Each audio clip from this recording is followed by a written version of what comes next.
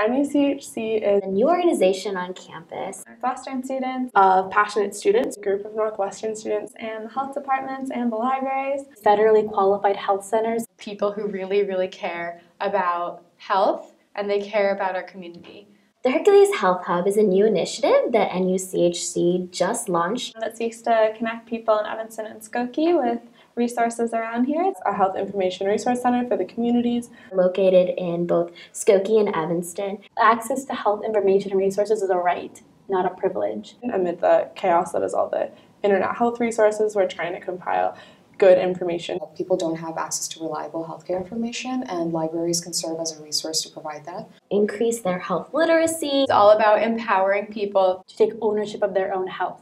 One time I was working at the help desk and this man came in and he was like, as he saw like on one of our posters about Erie and he started asking us, he was like, I don't have any insurance, is there any way like I can get health care? And we said Erie offers a sliding scale for people who don't have insurance and he was like really excited and happy and it was interesting, it was cool to see, to help someone with that. And someone came up to us and asked me to explain what um, Obamacare was. We sat down together, looked through um, resources on the computer, and realized that this person was actually eligible for Medicaid. She was telling me how her family does it, and we kind of got to look at different organizations and stuff that could help her um, with her family. And it was a really cool and intimate experience, and kind of a cool example to show how like both parties are like kind of growing from that experience. I went on one of the websites that we had our database, and I helped them find a couple of doctors and I gave them their contact information, a couple of different ones, and their address and their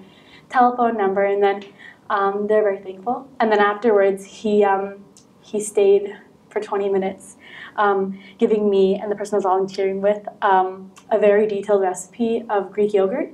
And UCHE is able to give you like a tangible way to really help people. I wanted to do something that forced me to get out of the Northwestern bubble and did something different. Bridge that gap between my Northwestern bubble and the Evanston Skokie community. This is where we live, and this is one way we can give back to a community that really gives a lot to us. It's awesome when a group of undergraduate students can kind of affect change in their own community. Focusing on our local community, focusing on local engagement with the people who we're living with. What's so powerful about working together is that we can um, do amazing things. Students and partners and community members kind of all coming together in a coordinated way. We can make a difference as students.